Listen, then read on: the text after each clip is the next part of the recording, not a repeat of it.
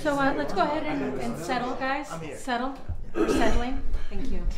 Uh, welcome to Broken Promises, a support group for voters who voted for Trump who are now disappointed by his broken promises.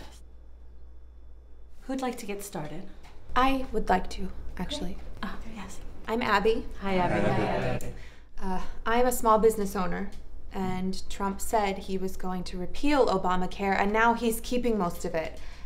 It's been rough. I hear you. You are heard. Um, what's been helping me through this is the mantra. So, everyone, just because I voted for a bad person doesn't make me a bad person. Thank you. Who's next? Uh, hello, I'm Paul.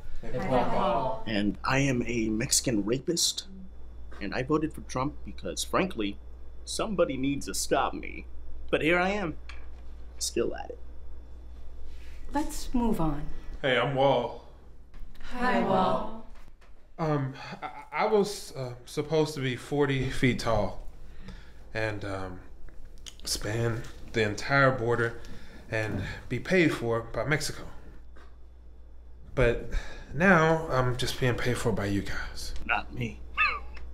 I mean, look at me. I'm not not even a wall. You're a fence, bro. I know, right? Yeah. My dad was right. I'm just a shitty fence. Yeah. Hi, I'm Hillary Clinton.